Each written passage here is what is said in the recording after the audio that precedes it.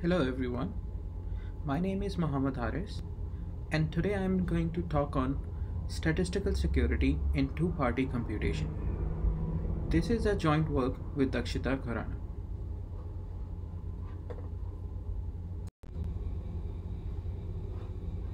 As I said, this work studies the round complexity of secure two-party computation with black box simulation and one-sided statistical security. This is the best security by any non-trivial two-party protocol in a plain model. So let's begin by looking at what is secure two-party computation. As name suggests, it is a protocol between two parties. Each have their secret inputs and they would like to evaluate a function on these inputs. This function may generate outputs for both of the parties.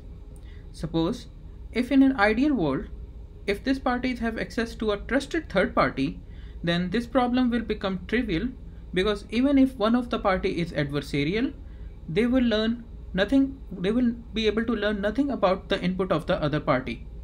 But in the real world, since such trusted third party does not exist, and therefore the parties emulate the trusted third party through a protocol. In this presentation, the party that gets the output is called a receiver and the other party is called a sender. For protocols in which both parties get the output, the party that obtains the output first is a receiver and the party that gets the output second is called the sender. If we look deeper, then proving the security of the protocol requires establishing the existence of a simulator that interacts with the ideal functionality and with the adversary to output the adversarial view that is indistinguishable from the adversary's view in the real world where the adversary interacts with the honest party. Why round complexity is important? Suppose if the parties have a very long distance between them or the network link between them is very slow, then if the round complexity of the protocol is high, then the network latency itself could become the bottleneck for the protocol. Also, this means that the parties may have to stay online for a longer duration. Let's first look at some of the known results. For interactive proofs, Polaria et al. has shown that statistical zero knowledge argument for NP languages are achievable in 4 rounds with black box simulation. Similarly, Goldreich et al. Has shown that computational zero knowledge proofs for NP languages are achievable in 5 rounds with black box simulation. In the case of two-party computation against computationally bounded adversaries, Katz and Ostrovsky has provided 4 round protocol when one party gets the output and a 5 round protocol when both parties gets the output. However, the round complexity of two party computation that is secure against statistical adversaries in the standard setting of polynomial simulation is not well understood.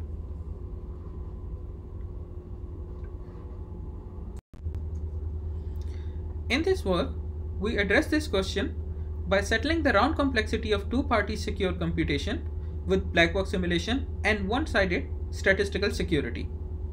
We do that by providing following two theorems.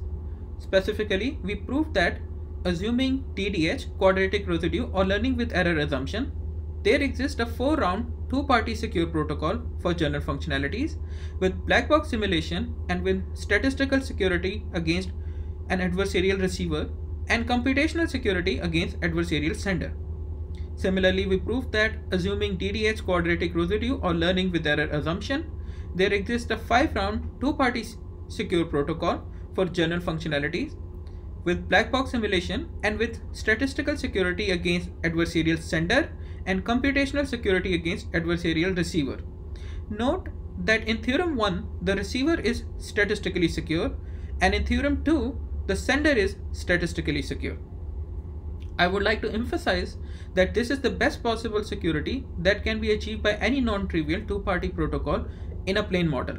I will explain in few slides why this is the best possible security that we could hope for. We prove these theorems by providing a single 5 round protocol for symmetric functionalities where the receiver obtains the output at the end of 4th round and the sender obtains the output at the end of 5th round. Uh, this protocol is unconditionally secure against the malicious receiver. However, for the sake of this presentation, we, I will only discuss 4 round protocol where the unbounded receiver gets the output by round 4. We will start with the protocol that is secure against semi-honest adversaries. However, due to a technical barrier, we will not directly transform this protocol into the one secure against malicious adversaries. I would like you to invite you to check the paper for the details of this technical barrier. Instead, we will first compile this protocol into the one secure against explainable adversaries and then into maliciously secure protocol.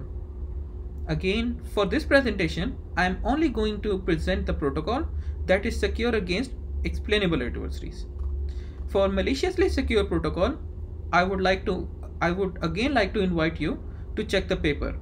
Specifically, we have used an interesting conditional disclosure of secrets protocol to overcome the technical barrier. A simple way to obtain a round optimal secure computation for general functionalities in a semi-honest setting is to rely on a Yao's garbling technique. In this technique, one party, which is referred to as a garbler, computes the garble circuit and labels for the evaluation of a circuit. The garbler sends the resulting circuit to the other party, the evaluator, and both parties rely on a 2 choose 1 oblivious transfer to transfer the right labels corresponding to the input of the evaluator. The evaluator then uses the labels to evaluate the garble circuit and recover the output of the circuit. Correctness requires that the output of the eval is equal to the output of the original circuit. Similarly, security requires that there exists a simulator that simulates the view of malicious evaluator given the output only. Note that in order to simulate this view, the simulator needs to extract the output of the adversary. As we discussed, parties transfer the label through oblivious transfer protocol. Let's look at this protocol little deeper. It is a two-party protocol between the sender and the receiver. The sender has the input messages and the receiver has choice bits which helps him to choose one of the sender's input. Security guarantees that the receiver does not learn anything about the other input of the sender and sender does not learn anything about receiver's input.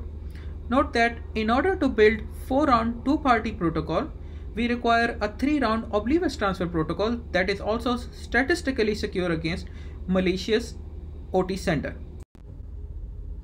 Note that using the garble circuits, we can already obtain a round optimal semi-honest protocol that is secure against bounded adversaries.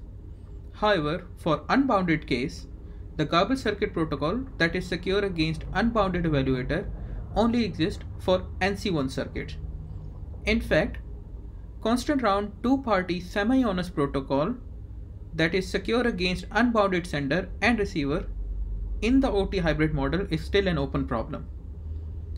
Therefore, best we could hope is a protocol in which only one party is unbounded specifically due to the garble circuit limitation I just discussed, we first fix the evaluator to be bounded and the garbler to be unbounded, which in turn means that two-party protocol has an unbounded receiver and a bounded sender.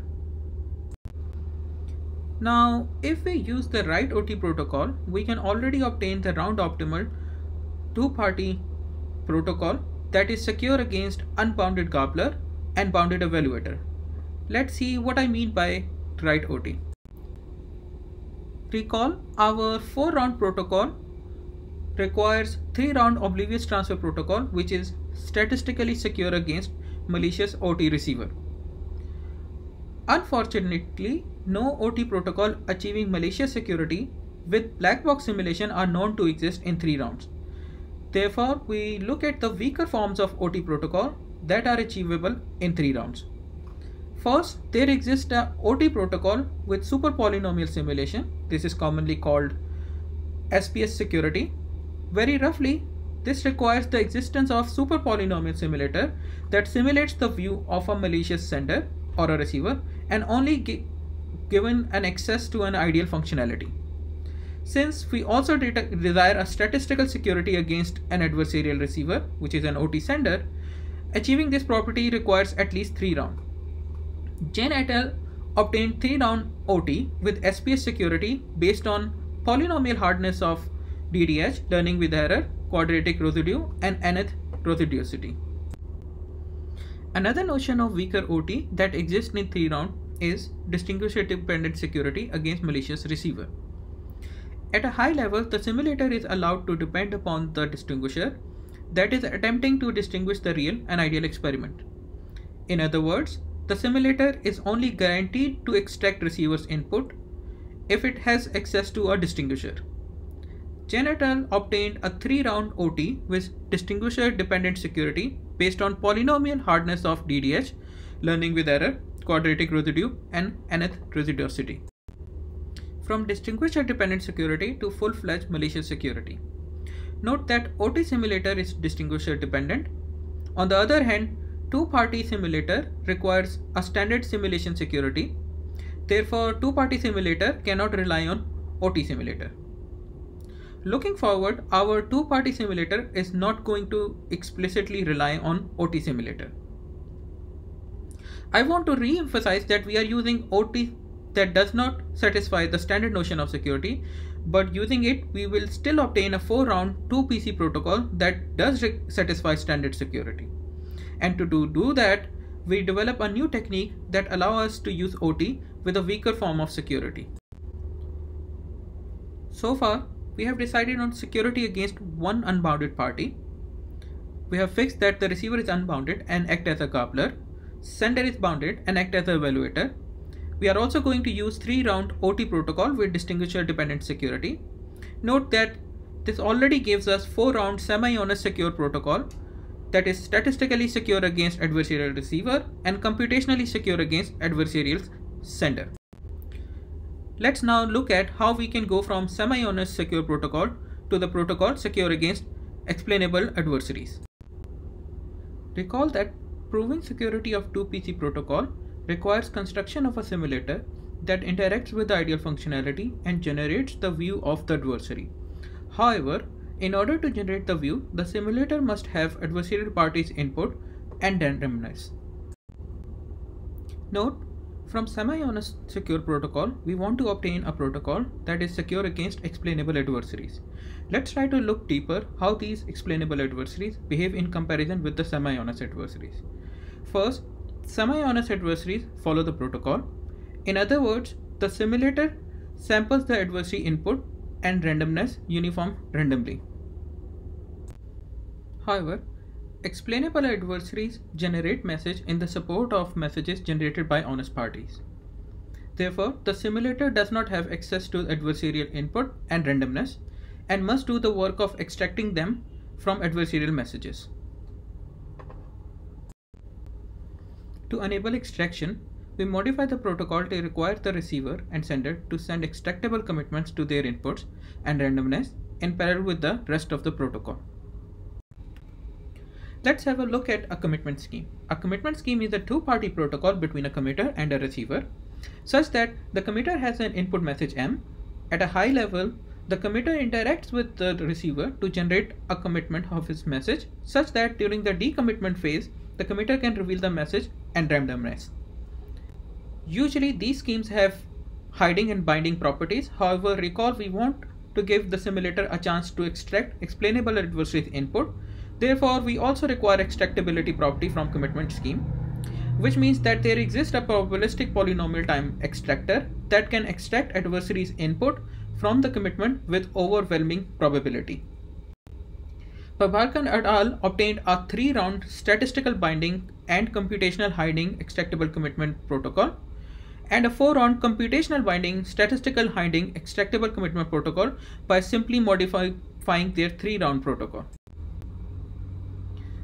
This is our four-round protocol that is secure against explainable adversaries. Recall that in this protocol, the receiver is unbounded while the sender is bounded. Note that on the top of garble circuit, the protocol uses three-round distinguisher dependent OT, three-round statistical binding and computational hiding commitment scheme, and four-round computational binding and statistical hiding commitment scheme. For the sake of simplicity, we have not shown randomness used by each party. I would like to point out that instead of the circuit corresponding to function f, the receiver garbles the circuit that computes the encryption of output of the function. Uh, in the next slide, we will see why this is the case. Zooming into the detail of our protocol, what ends up happening is that adversarial sender evaluates the garbled circuit before the simulator gets the chance to extract its input. Specifically, the simulator against adversarial sender will only get adversary's input by round 4 using sender's commitment. However, adversary will evaluate the circuit by round 3. Therefore, the simulator will not get a chance to program the garbled circuit earlier.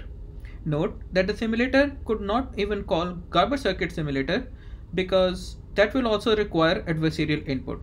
This is a key technical bottleneck in our protocol and in order to resolve this, Instead of garbling the circuit corresponding to the function f, the receiver samples the keys for public key encryption scheme and garbles the circuit that computes the encryption of the output of the function.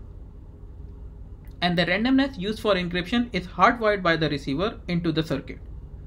As a result, the sender on evaluating the garble circuit obtains the ciphertext that encrypts the output of the function under receiver's public key. It must then forward this ciphertext to the receiver who will use the corresponding secret key to decrypt the ciphertext and recover the output of the function. In particular, in our proof, we built a careful sequence of hybrids where we first extract adversaries input to the OT protocol in a distinguisher dependent manner and use the extracted input to replace the actual garbled circuit with the simulated one.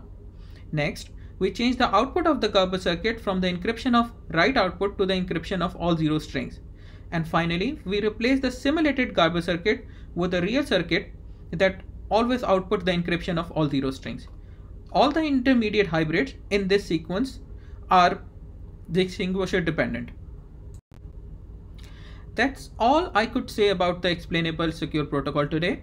And next time, the next step is maliciously secure protocol here I am only going to say few lines about it, but for the details of this protocol, I would like to invite you to look at the paper.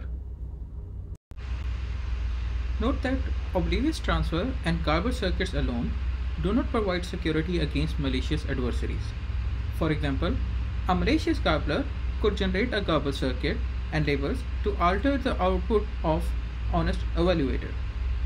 Therefore, by round 3, the receiver should convince the sender that it is safe to evaluate the garbled circuit.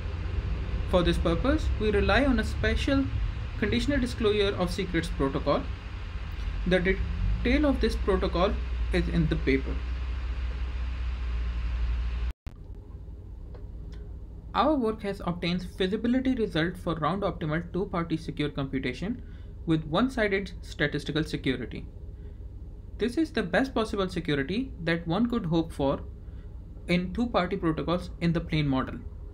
A natural next question could be, can statistical security be obtained against at least one of the participant in more general multi-party setting?